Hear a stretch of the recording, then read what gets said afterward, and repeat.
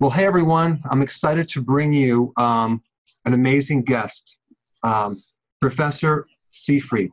Okay, he's the author of this book right here, Cancer as a Metabolic Disease. This is an this is my new favorite book. Incredible. You need a little bit of biochemistry to get through it, but there's a lot of parts that are really easy to understand. And um, so, uh, Professor Seyfried has taught and conducted research in the field of neurogenetics, neurochemistry, and cancer for more than 25 years at Yale University, Boston College. He's published more than 150 scientific articles and book chapters and is on the editorial boards of Nutrition and Metabolism, Journal of Lipid Research, Neurochemical Research, and ASN Neuro.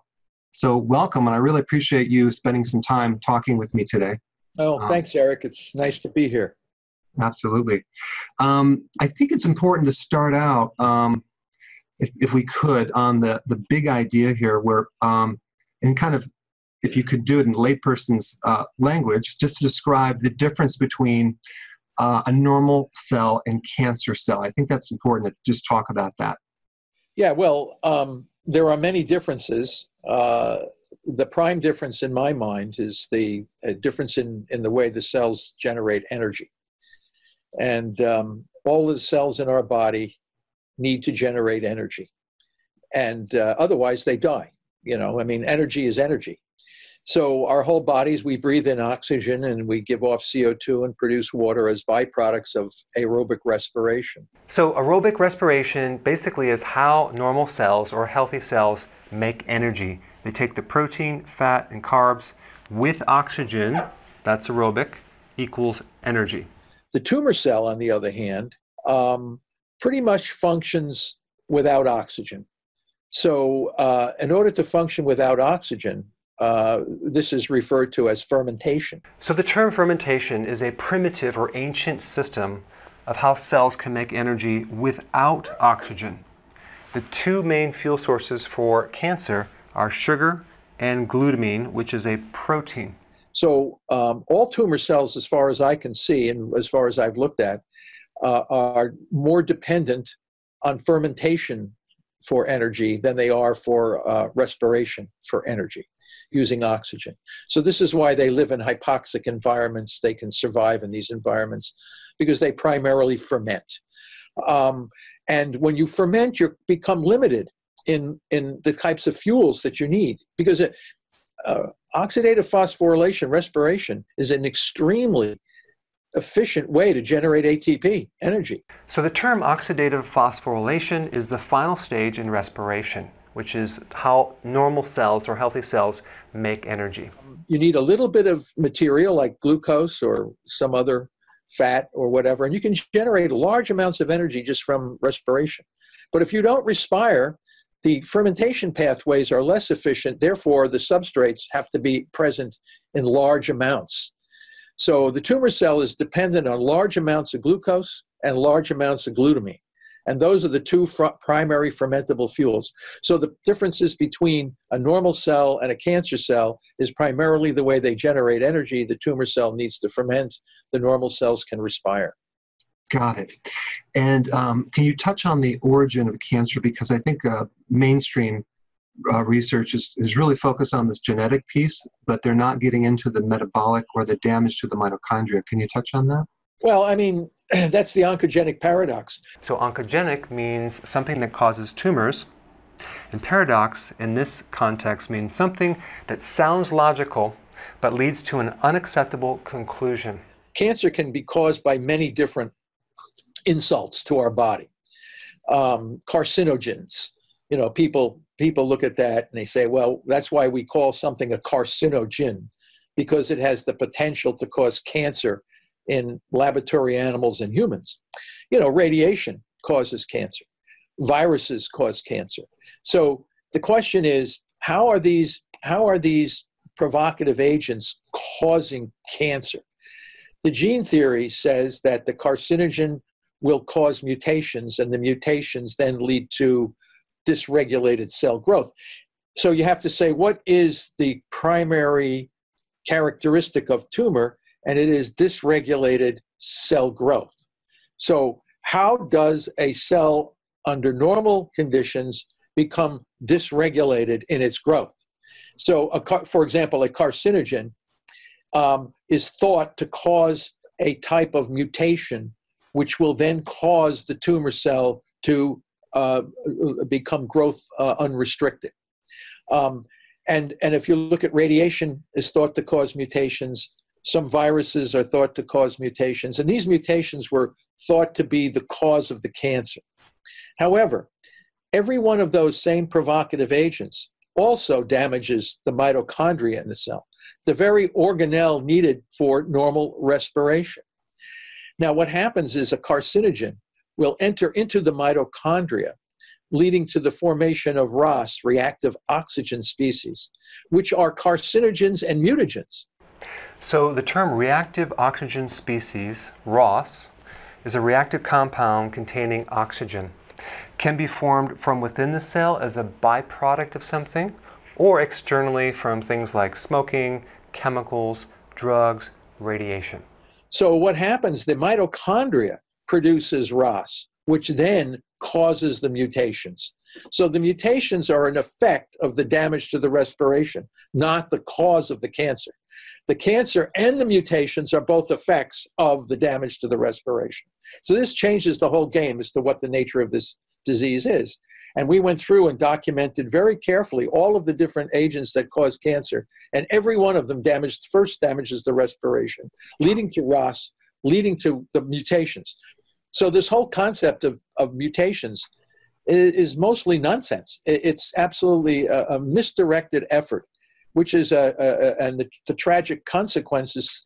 Over 1,600 people a day are dying from cancer as the result of this tragic misunderstanding of the nature of the disease. Wow. So, um, have you ever done any research or heard about research being done using something like um, IP6 phytic acid as a powerful antioxidant to counter some of the free radical damage? Um, well, that's more it would be in line of prevention. Mm-hmm. So, um, you know, the, if you can prevent free radical damage to your mitochondria, you're going to prevent cancer. So a free radical is an atom with an unpaired electron. Normally atoms have paired electrons. Free radical has unpaired, so it makes it highly reactive. Antioxidants give up their electron to stabilize the atom, making it neutral. Cancer does not start with normal mitochondria. So things that would be uh, um, uh, reducing reactive uh, oxygen species or inflammation or things like this would all be important in preventing the disease. But once the disease starts, you have an altogether different strategy that's needed. Wow.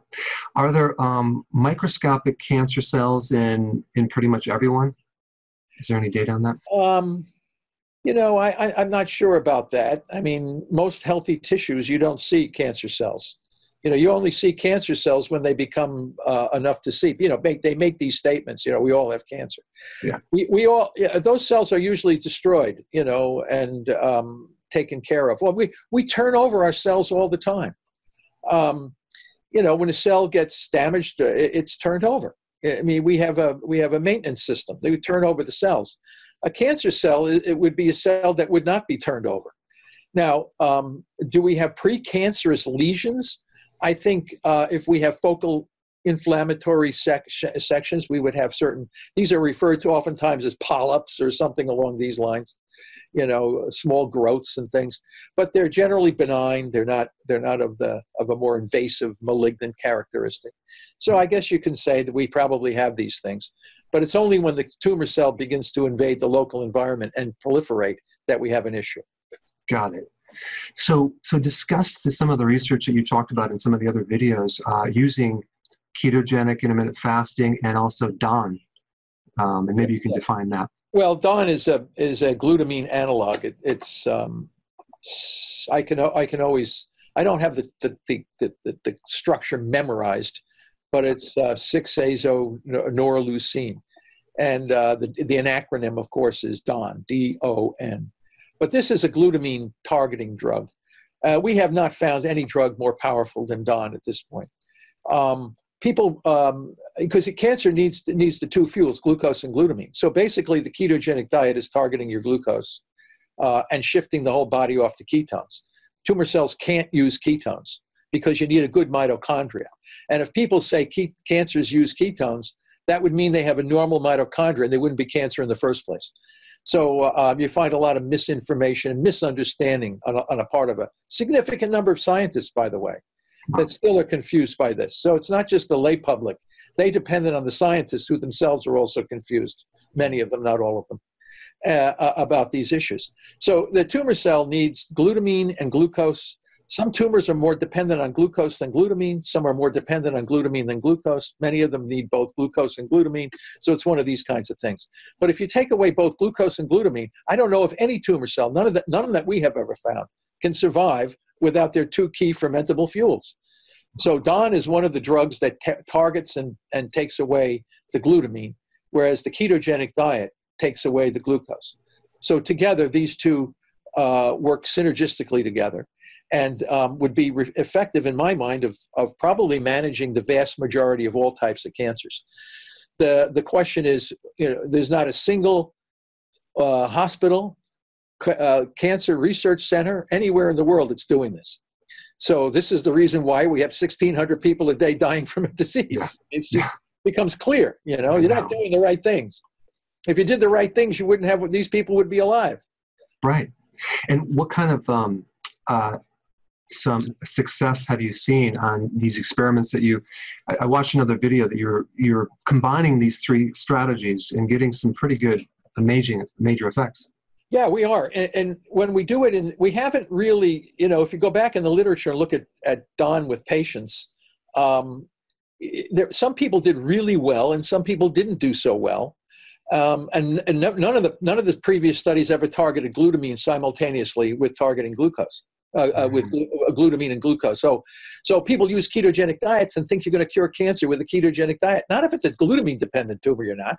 Mm-hmm. So, so people have to realize that it's you got if you don't hit both both fuels simultaneously, um, and they always say, well, the cancer cells are smart. They're not smart, and they adapt. They don't adapt. They're, they're, they're just using the fuels that are in the environment. And if you don't take the fuels away from the environment, it's going to look like they're adapting and it's going to look like they're smart, but they're not. So they're very they're they're dependent on two fuels, and, and if those, if they have access to those fuels, they will survive. If the fuels are taken away, they will not survive. It's not a complicated problem. No. It's just that when you're chasing genes and you think cancer is a genetic disease, you don't think about any of this stuff. Right. I mean, it's just that you know where are you looking? You know, so it's not a, you know when we do it in our preclinical systems, which are the best there are, because we develop the real models for representing real cancer it's very hard to kill these in the, in the mouse. Uh, but when we when we combine this, the two strategies together, we're getting great success, and and we are targeting glutamine in patients not with DON yet because it's it's not available um, in, in sufficient quantities. People don't know how to use it. Um, a lot of clinicians are concerned about this or that, but um, you know it's less toxic than most of the stuff they're already giving these poor cancer patients.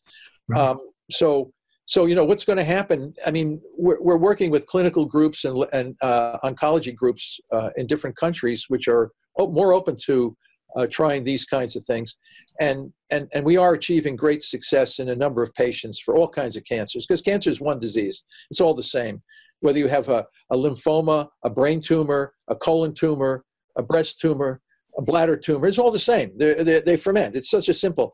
It, it's it's. It, I mean, it's just like you can you can kill the whole group of them just by knowing how to use one tool. So um, yeah, it's astonishing. Uh, and who's doing this? Nobody.